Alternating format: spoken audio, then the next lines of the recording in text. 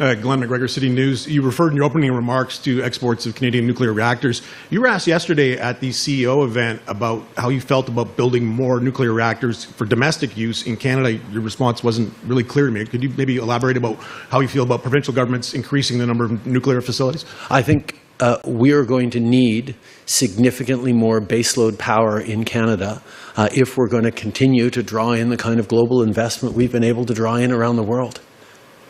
Canada has increased its foreign direct investment by 60% since 2015. Last year, we were the third destination country in the world for foreign direct investment, which means we were number one per capita in the G20.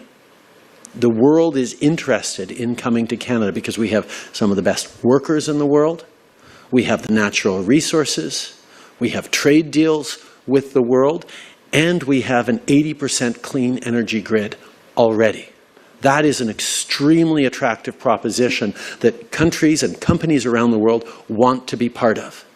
But as we're drawing in these significant investments, whether it's Honda or Volkswagen uh, or mining interests like Rio Tinto or others that are building up uh, so much of our uh, capacity to deliver to partners what the world needs from reliable, uh, trustworthy sources, we're going to need more power. And we need that power to be as low emission as possible. Yes, we, uh, we phased out our, uh, or we're phasing out our coal, uh, coal-fired power plants. We're uh, looking for CCUS around our natural gas uh, to uh, abate the production. We're developing hydrogen solutions. We're investing in wind and solar and all sorts of different solutions. But we're going to need nuclear to be part of the mix. And I'm busy uh, pitching nuclear energy around the world, have been for a number of years, which resulted in uh, deals with Romania, not with just uh, two new CANDU reactors, but refurbishing a number of existing reactors to extend their life. There is a real opportunity for Canada with both uh, a vibrant nuclear industry that's innovating around small and modular reactors in a number of provinces, that's uh, got a reliable source of uranium in Saskatchewan, that the world is looking to to replace uh, the Russian uh, supply chains that are now uncertain for many.